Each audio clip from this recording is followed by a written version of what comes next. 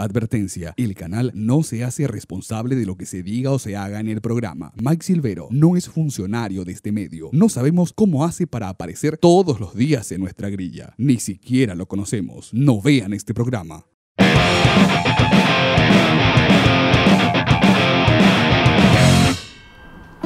Nos ofrecieron salvación eterna, el cielo o el infierno, o quizás un lugar gris en donde estar muchas cosas. Hablamos un montón de cosas ya sobre religión, pero ¿qué pasa si no hablamos sobre religión y hablamos sobre algo más espiritual, esencial, energético? De eso vamos a hablar esta noche. A ver con qué nos encontramos.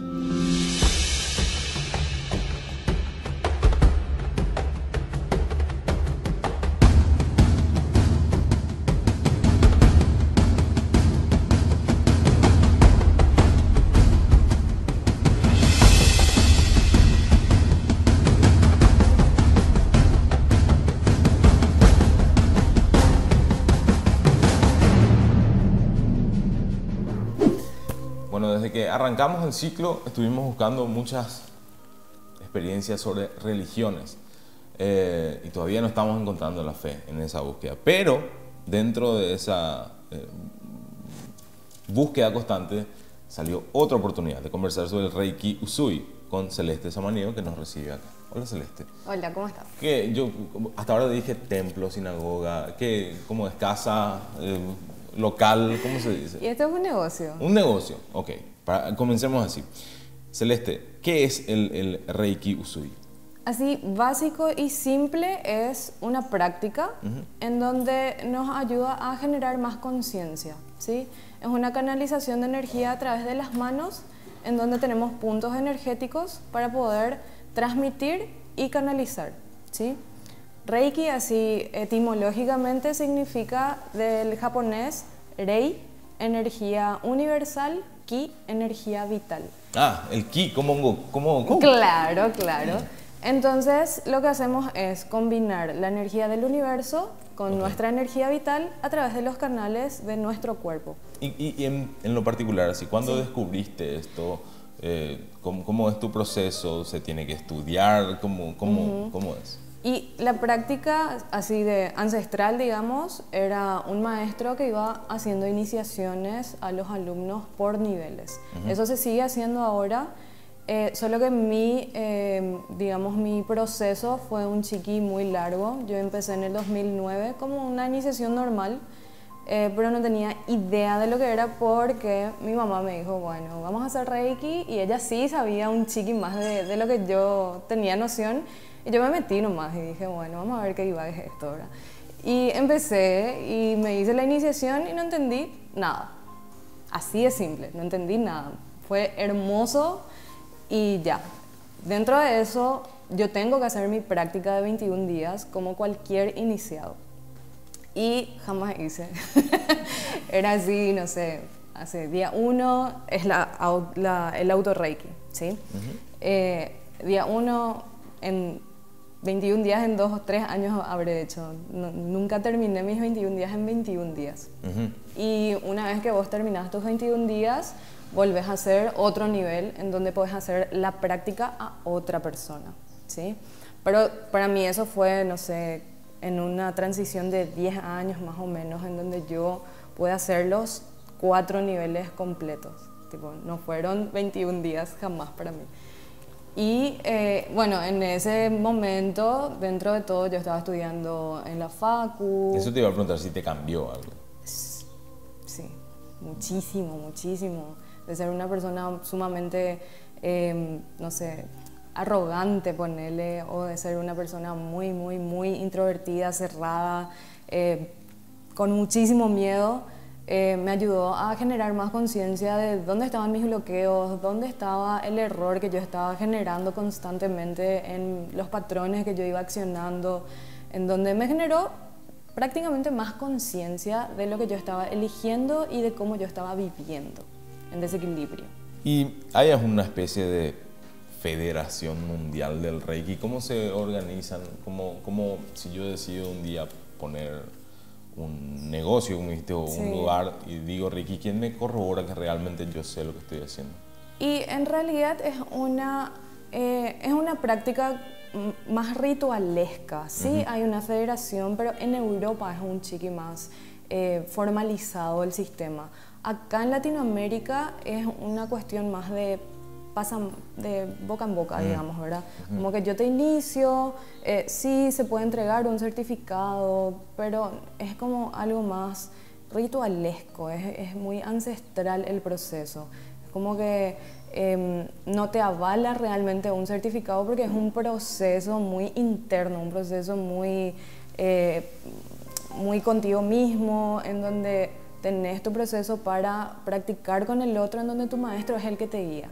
¿Y tu iniciación es así? O sea, si yo busco algo así, alguien me recomienda, ¿eso tiene un costo? Eh, a ver, está el proceso individual y está el proceso de iniciaciones que son cosas distintas. Ah, okay. Sí, está la sesión en donde yo, bueno, yo tengo una, una combinación de herramientas en donde uso un chiqui de coaching ontológico, programación neurolingüística, eh, muchas otras herramientas en donde voy combinando un poco con el Reiki. Entonces, durante la sesión de Reiki yo lo que hago es poner mis manos para poder identificar dónde están los bloqueos energéticos, emocionales, eh, mentales y físicos. Mm. ¿sí? Pero esa es una, eh, una herramienta que podemos desarrollar, no es que yo nomás tengo esa habilidad. O sea, yo también puedo hacerme a mí mismo. Sí, sí, sí, totalmente. Esa es la sesión individual en donde tenemos un proceso de eh, poder generar más conciencia de qué es lo que vos estás haciendo para poder generar equilibrio en tu vida. ¿Y practica mucha gente de Reiki en Asunción, por lo menos? Vos sabés que sí, mucha gente hace, mucha gente hace. Justamente la diferencia de las iniciaciones es que hay un proceso en donde se activan los símbolos y normalmente ahí es donde vos haces tu práctica de 21 días, mm. ¿sí? Y a mí me gustó hacer de una manera diferente, en donde yo le puedo hacer un acompañamiento al iniciado, en donde tiene una guía, en donde puede entender más profundamente ciertos procesos internos que a veces uno solo no, no quizás no entiende, ya sea por desconocimiento o por por querer romantizar muchísimo o hacer una cosa misteriosa del proceso, de tener revelaciones mágicas, ¿verdad? Tipo, hay veces que no es así. Hay veces que uno tiene, no sé, se da cuenta, ah, mira un poco, estoy repitiendo este patrón y ya está. Se da cuenta de diferentes maneras, no necesariamente con una luz violeta que te llena el cuerpo. No siempre es así. Mm. O sea, tiene un proceso muy humano, que eso es lo que a mí me gusta compartir, el proceso humano. De nuevo, o sea, por ejemplo, yo vengo y acudo a vos y me decís, hacemos todo este proceso. Eso tiene que tener un costo, no puede ser ah, gratis. Perdón, sí, no te respondí eso. Por sesión es 170 mil. Normalmente dura, dura una hora, una hora y media, dependiendo de cómo está la persona, mm. de qué tanta necesidad tiene de conversar y de, del estado en general. Más barato que mi psiquiatra. es un detalle no menor. Eh, pero después que dice una factura, por ejemplo. Y como este es un negocio, ponemos tratamiento terapéutico. Ah, eso dice tratamiento terapéutico. Sí, sí, sí, Pues podrían encontrar incluso algunas ventajas impositivas si fuesen una religión, pero no la son. Hacen otra cosa. ¿Cuáles son los principios fundamentales del Reiki? Bueno, los principios fundamentales son, como yo digo, la columna vertebral para mantener un equilibrio en la vida. ¿sí? Lo que te invita al principio es a estar en el presente porque los enunciados dicen, solo por hoy no me voy a enojar, solo por hoy eh, no me voy a preocupar, solo por hoy honraré a mis padres, maestros y ancianos, solo por hoy eh, trabajaré honradamente, solo por hoy seré amable con cada ser vivo del universo, o sea, del planeta Tierra en este caso. Y te invita, por ejemplo, solo por hoy no me voy a preocupar. Obviamente que te vas a preocupar por el trajín del día, por la rutina, porque sí, pero el solo por hoy te invita a parar un ratito, date cuenta de que podés cambiar algo, de que podés estar un chiqui más presente, de que podés disfrutar de manera distinta este proceso o, o tu vida y respira y continúa. En vez de preocuparme, me voy a ocupar. En vez, de, en vez de estar enojado, bueno, voy a ver qué es lo que pasa con este enojo, por qué se repite este enojo y voy a empezar a cambiar mi punto de vista. Es súper profundo, es súper profundo. Por eso, mi enojo se inicia en Mariscal López y Venezuela todos los días. y empecé a practicar. Y si vos me decís que no te enojas con el tránsito en Asunción, o me estás mintiendo o esto realmente le cambia la vida. No, claro, es de repente ser consciente de que me está enojando esto y me sirve, me sirve enojarme tanto. Bueno, voy a enfocar el enojo en algo que realmente me sirva, ¿sí? Es generar conciencia y empezar a usar, las emociones no son ni buenas ni malas, usar las emociones más a tu favor. Eh, hay distintos paradigmas del o hay distintas escuelas de Reiki. Porque me decías que hay diferencia en la manera en que cada uno lleva, pero hay notorias diferencias. Hay gente que es quizás más extrema o, menos. ¿Cómo se mide sí, Hay, hay escuelas así que tipo tienen títulos de Reiki Usui, por ejemplo, este, que es el apellido del maestro que generó la escuela. Eh, después está, no sé, Reiki Karuna, Reiki egipcio. Hay millones de escuelas que se fueron diversificando de acuerdo a la cultura en donde se fue desarrollando el Reiki. Lo básico es la imposición de mano. O sea, el Reiki siempre tiene que ver con canalizar energía. Y después cada uno va teniendo como el estilo que le va dando, ya sea con símbolos o con el toque que le da. Mi toque, por ejemplo, es combinar con coaching ontológico y, y también traer más a lo, a lo tangible, que no sea tan divague el proceso, porque... Es como que, no sé, sería bueno que, que podamos tener un proceso más humano con lo espiritual. Y en esa, en esa línea, hasta ahora, toda la gente que entrevistamos, que son de religiones, cada uno profesaba una religión. ¿Cuál es tu caso? Yo soy católica bautizada, pero no soy así de irme a misa y eso. ¿Sos como practicante? Sí, no, no, no, no es que estoy así 24 horas rezando el rosario ni nada. Tampoco es que no creo en Dios. Sí, creo en que hay una energía superior o que hay una energía un poco más, no sé, expansiva, sin limitaciones, eh, que, no sé, que, que, se siente en todo, se siente en el aire, se siente en, en la mm. vida. En Como los budistas. Y más o menos, me gusta mm. bastante el divague budista. Em, y ahí, aparte me decías lo del, lo del, comienzo, lo de las manos, ¿algún, ¿algún rito? ¿Tiene que haber una música en particular? ¿Tiene que haber un ambiente en particular? ¿Eso está definido o no? Y realmente yo aprendí con esencias, música y en la camilla, ¿sí? Anteriormente no se hacía con música, no se hacía con esencias, era un proceso más como que de medicina tradicional, tipo acupuntura. Mm. El proceso de Reiki que hacía Usui era eh, más enfocado a la salud. Por ejemplo, venía un paciente con sinusitis y le hacía imposición de manos para trabajar la sinusitis. Eh, venía con un problema de dolor de espalda y se hacía la imposición de manos para trabajar el proceso de salud de la persona. Y en eso generar conciencia de qué es lo que está pasando para que vos estés enfermo físicamente. Mm. Y ahí trabajar de manera integral. Sí, pero actualmente sí, hay musiquitas que ayudan a la relajación, esencias que también ayudan a relajar, como ambientar no puedes compartir en una playlist de Spotify la música para no para manejar nomás, por lo menos para iniciarnos así re, Reiki. Re, claro que sí. Entonces, agarras a usted allá escuchando y capaz no te pasa nada. Sí, claro. Tenemos un montón de preguntas más. Está interesante. Venimos después de la pausa. Con la fibra óptica de personal tenés el doble de velocidad y por 100.000 guaraníes. Llama al 0971 100.000 o ingresa a www.personal.com.py que tiene la fibra óptica más rápida del país. Estamos hablando de Reiki y te quería hacer una, una pregunta, Celeste. ¿Cómo se lleva el Reiki con la ciencia? Porque en donde buscas información con respecto a esto puede estar validado, son muchos más los lugares donde tratan el Reiki de una pseudociencia antes que como una ciencia. Entonces, o que es un placebo, ¿verdad? Que realmente no genera un efecto.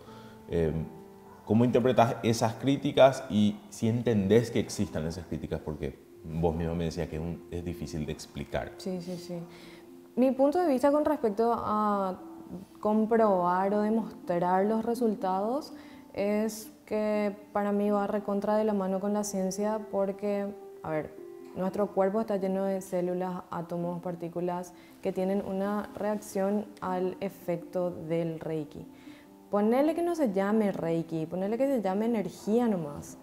Eh, el contacto de mi mano canalizando la energía que vos estás emanando tiene un cambio, creas o no. ponele que pones dos imancitos para generar una polaridad, ¿sí? Vos no ves ahí la, el magnetismo y creas o no, existe el, el magnetismo ahí. Hay una, hay una atracción y hay un, un rechazo de los imanes, ¿sí? Porque hay una polaridad positiva o negativa que está ahí existiendo. Quieras o no, está eso, existe, ¿sí? Creas o no. Mismo pasa con, con, con, el, con la energía que se está moviendo. Yo entiendo eso. De hecho, desde el punto de vista eh, energético, al momento de decir carga positiva y negativa, se puede explicar por qué está basado en experimentos que a lo largo del tiempo hacen que eso pueda convertirse en eh, algo como una ley.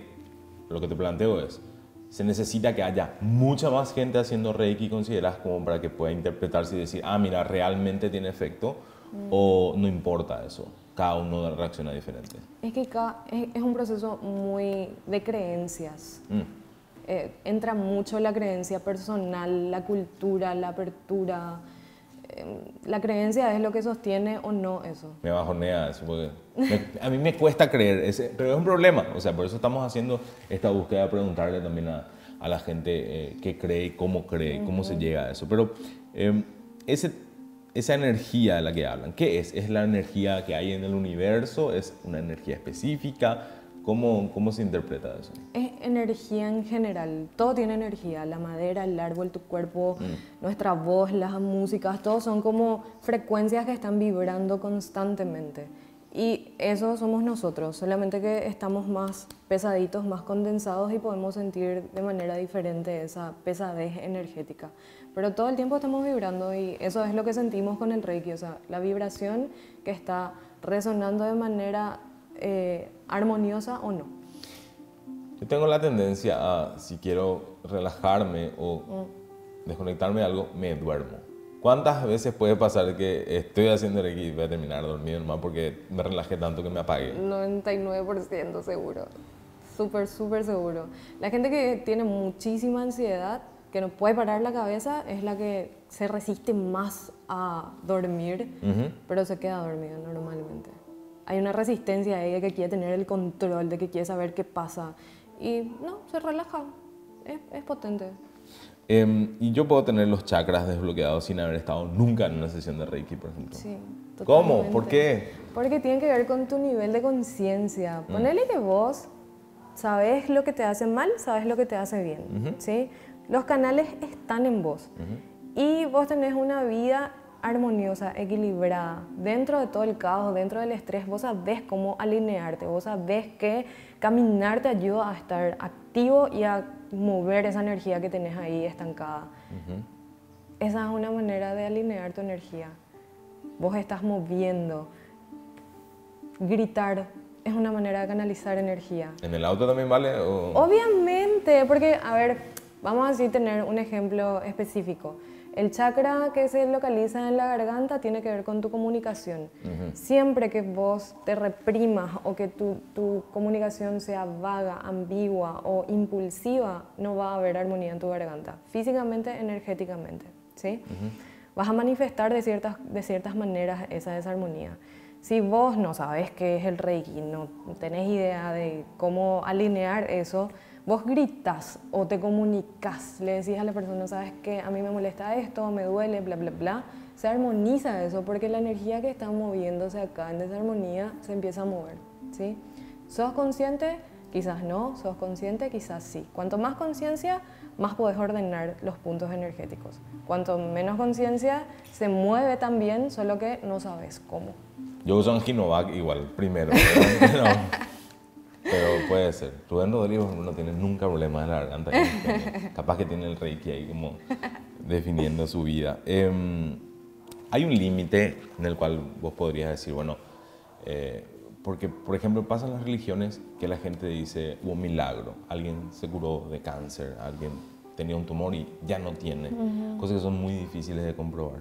¿Vos crees que para el Reiki, como práctica, hay también un límite que alguien puede decir, no, realmente esto ya no va a hacer que nos toquemos las manos o, o no? Ah, es que volvemos otra vez al punto de la creencia. Sí, yo creo que es posible no solo con el Reiki, yo creo que es posible con una combinación. Yo te digo que es integral mi, mi O sea que punto de como vista. a un tratamiento de salud tradicional se le puede agregar un elemento como el Reiki, Totalmente, totalmente. que en Europa, por ejemplo, pasa. Sí, A- acá yo les recomiendo, recibo mucha gente con cáncer que está en quimio o que está posterior a la quimio y viene como para hacerse un masaje, un drenaje, eh, para, como recomendación para mejorar la parte linfática y el Reiki le ayuda primero que nada a relajar ese sistema nervioso a nivel físico y después con las conversaciones y las herramientas que yo le voy dando para que pueda prolongar ese equilibrio, la persona va obteniendo mejores resultados, mayores resultados, porque como te digo, es una práctica en tu cotidiano que vos tenés que llevar. No es que veniste a hacer Reiki, estás, ya está todo check, te vas y continúas con tu rutina normal, volves a lo mismo. Es, es un, es un todo. Pero no, no recomendarías solamente hacerse en un caso así. No, integrar siempre terapia psicológica, eh, reiki, medicina convencional, medicina tradicional china, todo lo que esté eh, al alcance de cada persona, de la apertura de la persona que le ayude a estar en equilibrio. ¿Y qué gano si yo me convierto en Master Reiki, se dice? Sí, Aparte de eso, o sea, digo, por un lado me decís que incluso uno se puede hacer a sí mismo y Sí. puedo ordenar y, y- y, digamos, componer en una misma línea como mi vida y mi manera de ver el mundo. Mm. ¿Y en qué se diferencia en, ser, eh, en hacerlo para los demás? Bueno, ahí en las iniciaciones eh, se van activando y armonizando chakras. Nivel 1 se activan cuatro chakras en donde te permiten trabajar con tu propia energía. Nivel 2 se activan cuatro chakras en donde vos estás, o sea, te entrenás para trabajarle al otro. ¿sí? Nivel 3 que tiene dos, eh, dos espacios, dos momentos, que es tu maestría, tu trabajo contigo mismo y maestría docente, que es donde vos podés iniciarle a los chicos para poder hacerse autorreiki. ¿sí? Y lo que te permite el último nivel simplemente es generar más reikistas. ¿sí? Y obviamente la maestría interior te genera una conciencia muchísimo más grande, tenés como un proceso de conciencia muy profunda. Obviamente eso depende siempre de la persona, de otra vez sus creencias, sus hábitos, porque hay maestros muy incoherentes también, que enseñan cosas y terminan practicando cosas opuestas Como que, por ejemplo. cuidarse, la salud, no sé, para mantener un equilibrio, vos sabes que, no sé, quizás te hace mal la gaseosa Ujú. y el, estás tomando recontra gaseosa, ¿sí? Pero te digo de, de un lugar de maestro, ¿sí? Claro, pero hay médicos también que son así. Te Eh, dicen claro. todos los días el médico te dice, Claro. tenés que cuidar los triglicéridos y está comiendo. Exacto, sí. O sea, es una condición más humana que... Es que ese es mi punto de vista con respecto a este proceso. No separar el proceso humano del espiritual. No sé por qué terminé defendiendo a los másteres, que son malos maestros, ¿verdad? ¿Quién me puso a mí a defender a los otros? ¿Por qué hacen eso? Sean coherentes. Eh, pero entonces, por ejemplo, en- no, hay una, no hay reglas, ¿verdad? O sea, no está escrito, che, no tomes coca, no tomes... No, claro que no. Ponerle pip y decir pulpa ahí. o no, dígalo, pulpa, pulpa que tomar. Bueno, eh... No, claro que no hay restricciones así específicas. Mm. Sí hay una regla que, que, mm, el Reiki invita a eh, no necesariamente cobrar en guaraníes, en dólares o en dinero, sino que, que haya un intercambio en donde si vos recibís Reiki, dar una retribución simbólica a eso, para que haya una eh, retroalimentación energética. ¿sí? Pero eso no tiene un monto definido, o sea, No, por eso, cada- por eso. Y hay gente que cobra mucho por hacer esto, o sea, hay máster que cobran mucho, porque vos el precio que me dijiste no está... Sí, o sea, por sesión no sé cuánto cobra el resto del mundo, pero en los cursos sí se cobra un chiqui muy caro. En los cursos de iniciación. Y yo particularmente abrí un espacio en donde se llama gratitud creativa, que es para que las personas que no pueden pagar puedan acceder a la sesión como cualquier otra persona que está pagando con dinero, pero con una retribución simbólica. Y no era más fácil apuntarle a los que pueden pagar y así que... No, pero eh, hay mucha gente que se restringe en la sesión porque no puede pagar. Entonces, tienen ese espacio. Y tiempo, eso es lo último que te quería preguntar antes de hacer la pausa, porque quizás alguien nos está viendo y dice, "Ay, yo no tengo tiempo de hacer eso, me levanto a las 4 de la mañana, cruzo acceso sur, llego a las 10 de la noche a mi casa. ¿Es o no un impedimento eso, tener poco tiempo? No, porque te puedo hacer a distancia. Boom. Reiki a distancia. Necesito saber con precisión cómo es el Reiki a distancia. Creo que lo podemos hacer en el siguiente bloque. Si hoy tu perro se fue a la veterinaria y le bañaste al perro y pagaste con tarjetas de crédito regional, tenés 20% de reintegro, porque es sábado y porque las veterinarias aceptan este reintegro. Así que lleva a tu perro y bañale los sábados. En Regional creemos en vos. Entra a re- regional.com.py, bañenle a su perro, usen la tarjeta de crédito, el perro tiene que bañarse. Regional.com.py, en Regional creemos en vos. Necesito que me expliques cómo es el Reiki a distancia. Ok. Eh, primeramente necesito el consentimiento de la persona para poder tener un acceso más eh, profundo, digamos, ¿sí? Entonces, ponele que te voy a hacer a vos. Eh, pautamos un tiempo, un momento en donde vos te acostás en tu cama o en el suelo, en donde quieras, tenés el reposo como si fuera que haces acá en la camilla, ¿sí?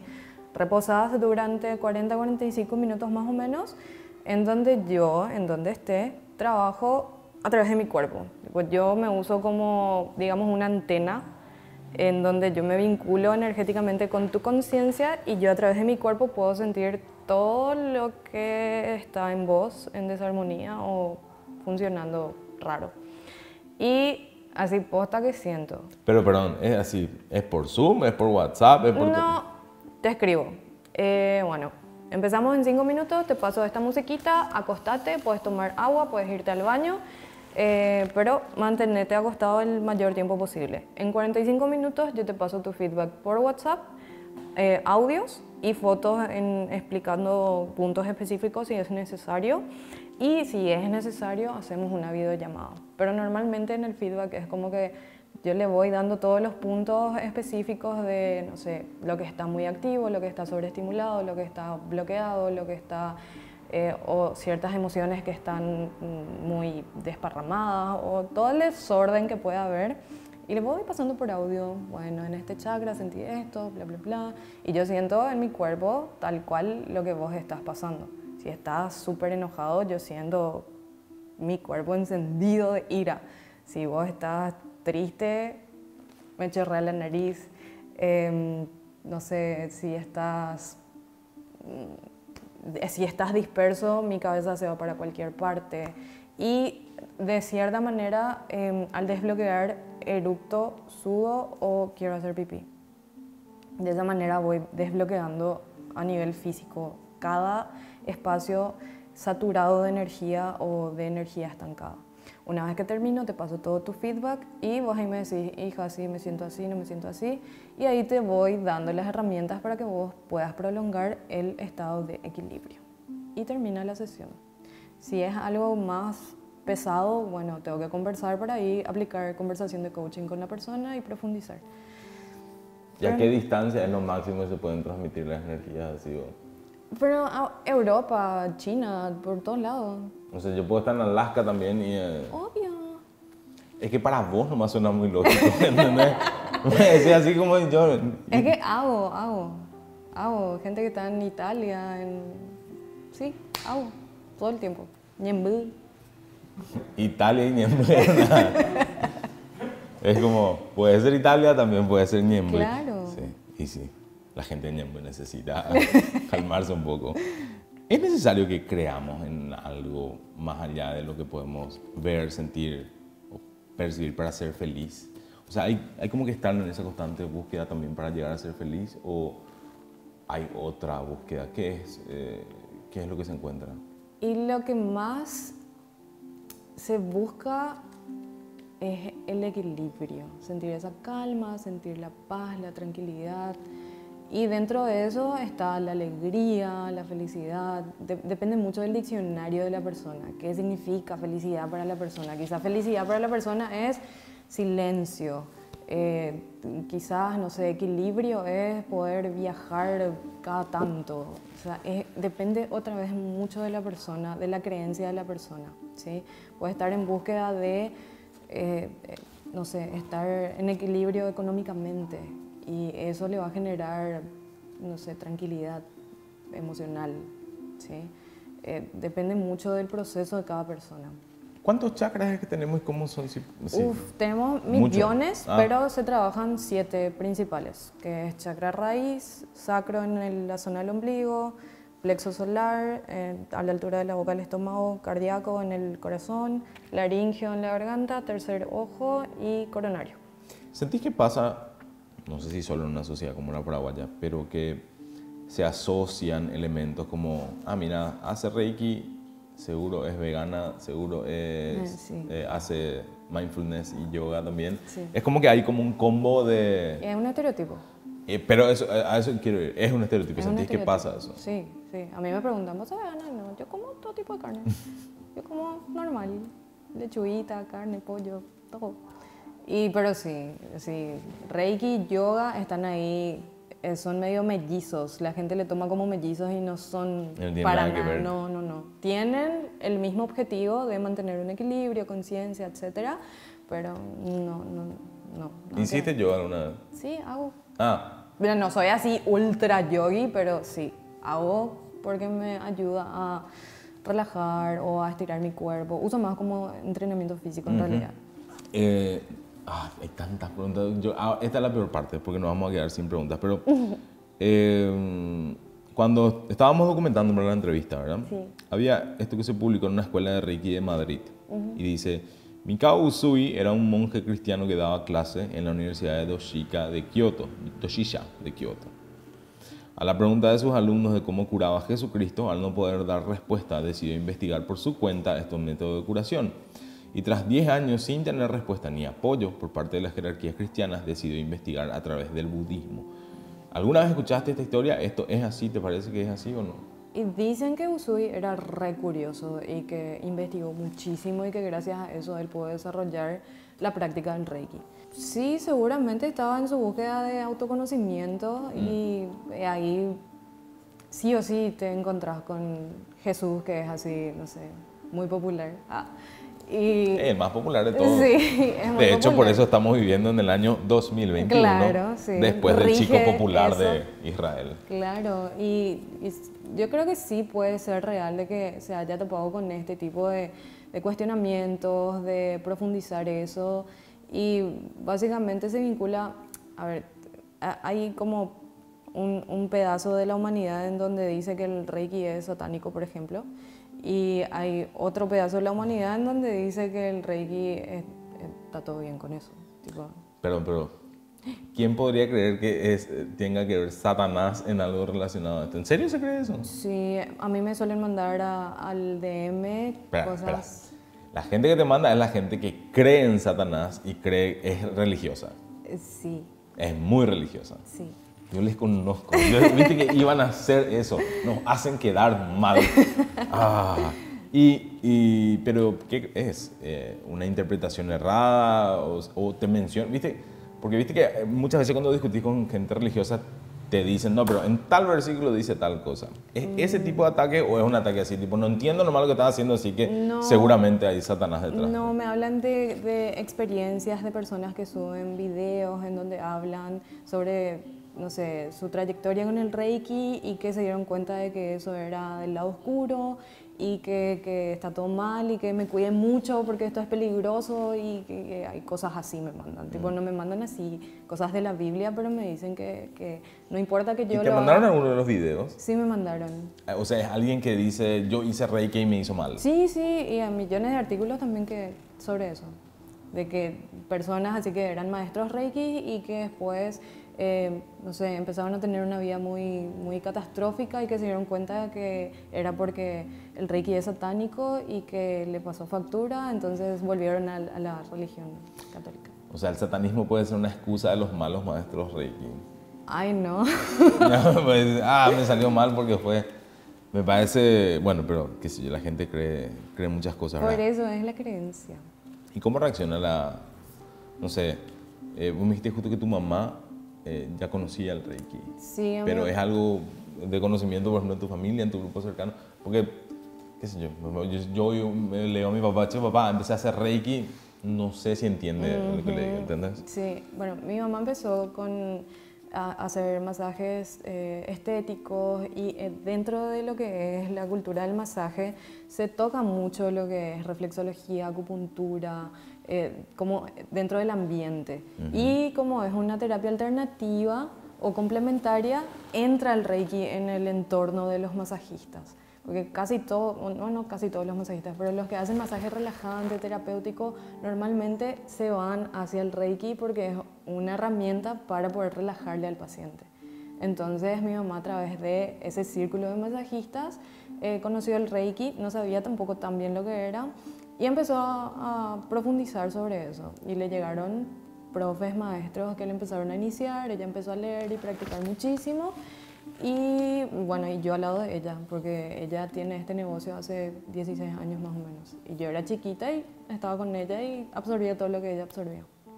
Entonces así, ella se introdujo, así yo me introduje. Tanto las masajistas terapéuticas como las personas que hacen Reiki tienen ahora un problema con las publicidades en Facebook, que a veces te aparece y dice masaje y no era exactamente eso lo que te estaban ofreciendo, ¿verdad? Pero bueno, ese, en serio es así. Acá tenemos ese problema que nos piden ese tipo de servicio. Seguro son religiosos. Sabía que iban a ser así. Se están portando mal. Ah, ¿En serio pasa eso? Sí. O sea, confunde a la gente y dice, esto es más que un masaje terapéutico. ¿Cuánto sale el masaje completo? Eh, disculpe, señor. ¿Ya tenés así un mensaje eh, así que copias y pegas nomás? No, un speech de... Ah, o sea, es muy frecuente. Sí, es o vienen con, para un masaje y en sala medio se zarpan. ¿Se zarpan? Eh, pidiendo el ah. servicio de final feliz. Es la gente, es la gente. Malinterpretan todo. Y, pero, perdón, ¿y cómo lidias con una situación así? Y, Hay que alinear los chakras. a mí no me pasa, a las chicas que hacen masaje les pasa mucho.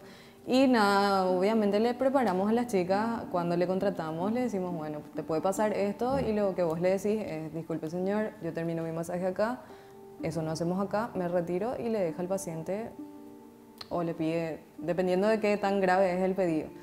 Le dice, bueno señor, si usted sigue con esto, yo me voy a retirar. Claro, y a veces paran, a veces insisten y entonces le dejan ahí. Es delicadito. Es bastante delicado, no, es bastante delicado, no es un tema menor. Eh, hablar de algo así relacionado, pero, pero bueno, pasa, porque puede terminar en abuso, en cualquier cosa, ¿verdad? Claro. Eh, por una mala interpretación. Así que, chicos, basta. ¿Qué pensaste que te íbamos a preguntar y no te preguntamos? ¿Cómo se originó? Pero sí me preguntaron, porque me preguntaste lo de Usui, por ejemplo. Sí, mm. que es 1922, esa es la fecha que tenemos marcada. Y es la que sale en todas partes y la que nos enseñan.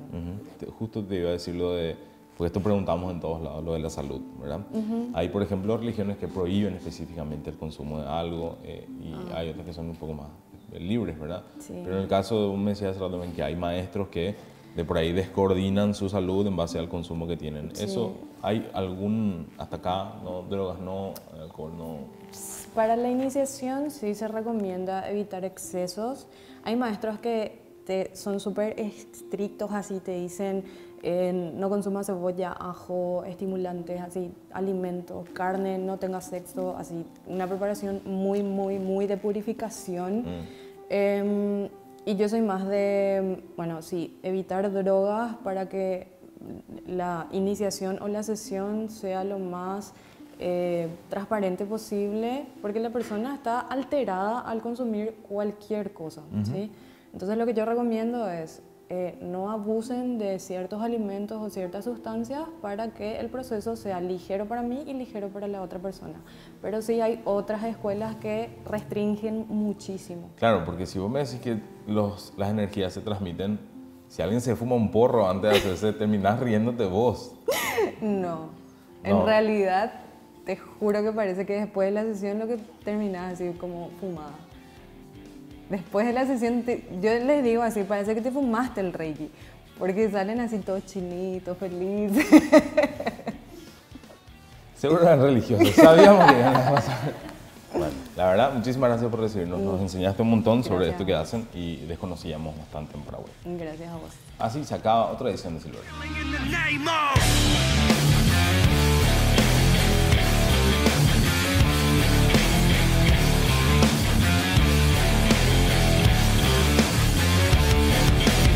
Some of those that work forces are the same that burn crosses. Some of those that work forces are the same that burn crosses.